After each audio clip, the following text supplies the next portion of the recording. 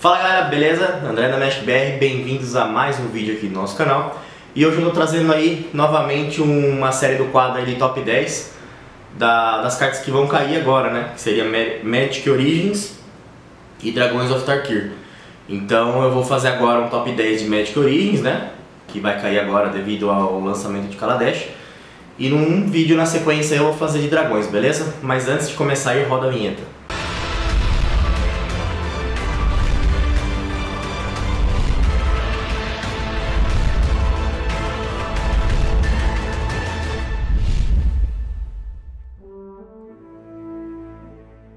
Bom galera, vamos começar aqui ó, vocês já devem estar vendo aqui ó, em décimo lugar temos o Hungerback Walker, jogou muito aí no, no formato, ó, até hoje ainda tem alguns decks que jogam com ele. Ele é uma criatura artefato, que ele entra com X marcadores, né, sendo X é, pago duas, é XX, né, então se você pagar duas manas ele entra com um marcador, e você pode virar ele e pagar uma mana e adicionar um marcador nele, né, quando ele morrer ele faz a quantidade de fichas tópteros com a quantidade de marcadores que ele tem. Então foi uma carta que jogou muito em deck agressivo. É... O, se eu não me engano era um W que jogou muito com ele, um W com meio pouco controle, um pouco agro. Jogou muito com ele. O Abizan jogou também, eu vi algumas listas de Abizan jogando com ele na época que ele era. que tinha o Abizan, né? Que o Rino, tudo estava lendo no T2. Então uma carta aí que a gente não sei se a gente vai sentir muita falta, eu tenho quase certeza que ela não vai jogar em nenhum outro tipo de formato. Só jogava no Standard mesmo, beleza? Vamos pro próximo. Em nono lugar temos o Tragic Arrogance. Ele é um feitiço de 5 manas, um feitiço branco, vocês devem estar vendo aqui. E você escolhe, é, para cada jogador você escolhe uma permanência, escolhe é, um artefato, um encantamento, um planeswalker, uma criatura e é, destrói o resto, né? Jogou bastante em listas do, no, no jogou bastante. Eu vi alguns GWs usando de side o, essa carta. É, que mais? O Mono White eu vi usando, só que não achei legal porque ela é 5 manas e o Mono White ele é um deck agressivo, né? Que você tem que ganhar rápido. Então, às vezes, até a quinta mana já não seria o suficiente, né? Também acho que é uma carta que não vai jogar em nenhum outro formato. Eu creio que ela só jogou agora no T2 mesmo e já era, não vai valer mais, beleza? Vamos pro próximo. Em oitavo lugar temos o Kiteon, que flip vira o Gideon. Ele é uma criatura de, duas, é, de uma mana branca, 2-1, e ele flipa quando ele e mais duas criaturas estiverem atacando ele vira o Planinauta Gideon. Foi uma carta que jogou bastante no GW Tokens, jogou no Abizan, jogou no GW Agro. Eu vi lista de Bunt usando ele também. E também creio que é uma carta que só jogou no Standard e não vai jogar em Modern nem em outro tipo de formato. Talvez um Commander pode ser que ele jogue, que eu também acho que é difícil. E também não posso opinar porque eu não, não manjo de Commander. Então é uma carta que jogou aí no T2 um período, não fez muita diferença. Não é uma carta extremamente agressiva e forte. E está indo embora agora com a queda de Origens. Vamos pro próximo. Em sétimo lugar temos o Fear Impulse. É uma mágica instantânea vermelha que custa uma mana e ela dá 2 de dano na criatura alvo. E ela tem maestria se tiver mais do que dois feitiços ou mágicas instantâneas no seu cemitério, ela causa 3 de dano. É uma carta excelente, jogou muito em Mono Red, jogou em Jund, joga ainda no Jund, inclusive eu jogo com ela no meu Jund Delirium que eu tenho, que infelizmente vai cair agora ela. É, é excelente para deck de deck agro, né? Porque você consegue eliminar a maioria dos bichos que tem aí no formato no, no T2. A maioria dos bichos drop 2, drop 3 você consegue remover com essa mágica que custa apenas uma mana vermelha. Então essa sim vai ser uma, uma instante que eu acho que vai fazer falta no Standard. Deixe sua opinião aí embaixo, o que, que você acha que possa substituir ela aí com a rotação. Já estão saindo os spoilers aí de Kaladesh, não, tem, não está completo ainda. Mas deixa a sua opinião aí, o que, que você acha que vai substituir ela nesse, nesse 2 de dano e 3 de dano na maestria, beleza? Vamos pro próximo. Em sexto lugar temos a Nissa. É, é uma criatura, é, criatura que flip vira um planinauta. Ela é 3 manas 2-2. Na minha opinião, ela é a segunda melhor planinauta da coleção de Origens. Ela jogou muito, é, joga ainda no Bunt, joga no, no Jund, joga muito essa carta. Quando ela entra você busca uma floresta e se você, quando você é, baixar um, um, terreno e se você tiver 7 ou mais, você flipa ela e ela vira a Planinalta Nissa, que você pode subir os é, pontos de lealdade dela e revelar a carta do topo. Se for no terreno, você coloca no campo, se não, você põe na mão. Ou você tira dois marcadores e faz uma ficha 4-4. E o ultimate dela, né? Que todos os seus terrenos viram bichos e você. Bom, virou ultimate e você já ganhou o jogo. Então eu vou sentir muita falta da Nissa. Eu gosto muito dela, é uma planinalta excelente, joga muito. É uma carta que quando cai na mesa e flipa dá trabalho, ela realmente faz a diferença. E eu creio que ela só vai jogar no Standard, não vai jogar em outro formato. Infelizmente, ela só serviu aí pro Standard e serviu muito bem. Vamos pro próximo. Em quinto lugar, temos a Dark Petition, que é um feitiço de 5 manas, sendo duas pretas, que você pode buscar no seu Grimório qualquer carta e colocar na sua mão, sem precisar revelá-la. E ela tem a maestria, se você tiver dois feitiços ou mais, ou instantâneas, você além disso gera mais 3 manas pretas na sua pool. Então foi uma carta que jogou muito bem em deck de controle. Alguns decks hoje ainda estão jogando com ela. Mas o deck de controle, por exemplo, um Esper, um... É, eu vi um B jogando com ela também, jogou muito bem. Então você fazia ali ela no, no late game, você conseguia buscar um dragão e ainda com aquelas três maninhas ali que você gerava ali, você ainda conseguia conjurar esse dragão aí e reverter muito a situação do jogo, dependendo como tiver. Ou você consegue buscar uma remoção, e já usar ela pela maestria. Então é uma carta muito boa, jogou muito bem. Demorou para ela começar a jogar, né? Depois que surgiram alguns decks aí que ela começou a, a rodar bastante. Então eu acho que demorou um pouco, mas ela jogou muito bem. Infelizmente eu acho que ela só vai jogar no, no T2, né? Só jogou no T2, agora vai cair. E não vai jogar em nenhum outro formato, beleza? Vamos pro próximo.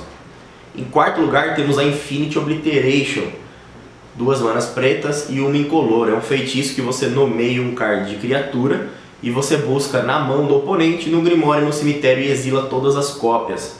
Jogou muito, todo deck que ia preto com certeza tinha pelo menos duas cópias dela de side. É, joga muito, tira, resolve muito problema na época quando tinha o Rino, nomeava o Rino, tirava o Rino, tirava o Dem Protector, cartas que faziam muita diferença ali no field e a Dark, e, Dark Petition, eu viajando. E a Infinite Obliteration é, esse problema aí, deixando é, o jogo mais equilibrado, né? Então é uma carta que vai fazer bastante diferença. É, não sei se ela vai jogar de formato, eu creio que não vai jogar, porque no Modern temos outras coisas melhores que, que fazem o mesmo trabalho dela. Então ela só jogou aí no, no Standard e agora ela está caindo e infelizmente é um abraço para ela. E também não sei, acho que não vai ter nada no, no formato agora, no Standard, que vai substituir ela. Eu creio que não vai lançar nada em Kaladesh que faça a função dela. Então, um abraço para a obliteração. Foi muito bom usar você. Vamos pro próximo. Em terceiro lugar, vocês devem estar vendo aqui várias cartas, são as Penlands. Então eu vou, eu não vou falar de todas aí porque vocês estão vendo aí na tela. Então também vai ser uma grande perca aí do, do T2, né? São são ótimos do terrenos duplos, né? O pessoal fala que geram duas cores, mesmo você pagando um de vida, corrige absurdamente a sua, a sua curva e, e eu tenho certeza que vai fazer muita falta aí esses terrenos, por isso que eu deixei em terceiro lugar. E também eles, eles eu acho que jogam em outros formatos, eu acho que deve jogar no Modern, alguma coisinha, mas o forte deles mesmo era o Standard e agora eu creio que só as duais que vão vão suprir aí o formato e as novas lentes de Innistrad, né, que você tem que revelar um, um card da cor para ela entrar de pé, ou ela entrar virada, né. Bom, vamos pro próximo. Em segundo lugar temos o Languish, uma excelente remoção de 4 manas, sendo duas pretas, um feitiço que dá menos 4, menos 4 para todas as criaturas do campo de batalha. Então qualquer deck preto que, que você joga, com certeza você jogou com Languish ou main deck Outside, eu jogo com três cópias do meu Jund, é excelente para fazer uma limpa na mesa, principalmente quando você joga contra um Bunt, ou você joga com W Tokens, desculpa, GW Tokens, ou quando você joga com um deck de humanos, ou de zumbi. Então é uma limpa assim que o cara com certeza não volta mais pro jogo. E é uma excelente carta, eu senti muita falta dela. Essa eu gostaria que vocês comentassem aí embaixo o que, que vocês acham que vai substituir, o que, que vai entrar no lugar dela aí para suprir esse, essa perca do T2, né? Não sei o que, que poderia substituir o Language para dar uma, uma força aí para em remoção em massa. Então, deixa a sua opinião aí nos comentários e vamos para a próxima. Bom, pessoal, em primeiro lugar, temos, claro, com certeza vocês devem saber, vai aparecer aqui agora, é o nosso amigo Jace. Infelizmente, Jace, você está caindo do Standard. É muito decepcionante fazer um momento de silêncio aqui.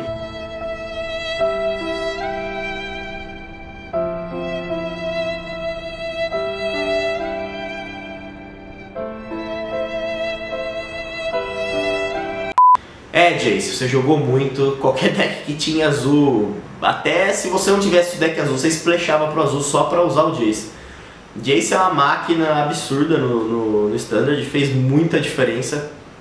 É uma criatura de duas manas sendo uma azul, ela é 0-2, você vira ela e compra uma carta em seguida descarta uma carta. Se o cemitério conter mais do que 5 cartas, você flipa ele e torna o Planinalta Jace. Que se você subir a lealdade dele, você dá menos 2 menos 0 para a criatura alvo, ou se você tira 3 marcadores, você pode conjurar uma mágica instantânea ou feitiço do seu cemitério. E o ultimate dele, quando você casta uma mágica, o oponente tomba 5 cartas do Grimório para o cemitério. Então, realmente, por favor, uma música triste de fundo aí, porque o Jace vai fazer muita falta no Standard. Eu, não, eu joguei muito com ele no meu Esper Controle, no meu Esper Dragons. É absurdo ele, muito bom. E infelizmente agora ele está caindo. É, ele vai jogar, ele joga no Modern, com certeza. Legacy não, porque não tem nem por que falar que jogaria no Legacy. Mas no Modern tem vários decks que jogam é, com o Jace. Eu inclusive estou vendo para montar um Modern que eu vou usar os meus Jaces, que eu tenho eles aí não vou passar, né? Porque é uma carta muito boa. E eu tenho certeza que ele vai continuar jogando aí. Pouco, mas eu acho que ele vai continuar jogando. Não como no Standard. Infelizmente, é, ele vai cair agora. Bom, galera, esse foi o top 10 aí de Origins. Esse top 10 eu selecionei, na minha opinião, aí, como eu estou acostumado a jogar o Standard sempre. Então eu estou, digamos que bem por dentro aí da, das cartas que estão fazendo diferença no field. E caso vocês achem que alguma outra carta fez muita diferença, por favor, deixa nos comentários aí, que vai ser um prazer aí ver, beleza? É... Se você não é inscrito no nosso canal, faça sua inscrição. Temos vídeos semanais aí, beleza? De conteúdo de gameplay, evento, cobertura, é, notícia, tutorial. Tem bastante coisa legal aí que tá, tá aparecendo no canal e estamos com um projeto aí é, bacana para vocês aí que em breve eu vou estar tá fazendo um vídeo exclusivo para divulgar esse projeto que vai beneficiar muita gente e vai ser muito legal, beleza? Então aguardem que logo mais eu vou mostrar para vocês isso aí. Na sequência aí provavelmente a gente vai fazer, vocês vão ver o vídeo de dragões, que eu vou fazer um top 10 ainda também. É... E deixa seu like aí também, né? né? Pedir para inscrever, mas por favor, né? o like também é muito importante ajuda bastante aí. Divulga aí no Face, passa para seus amigos que, que jogam aí com você, pede a opinião deles aí também. Vamos interagir no vídeo aí que é bacana aí para movimentar nossa comunidade do Magic aí que está precisando bastante. Beleza? Muito obrigado por você ter assistido aqui, eu vou ficando por aqui. Valeu!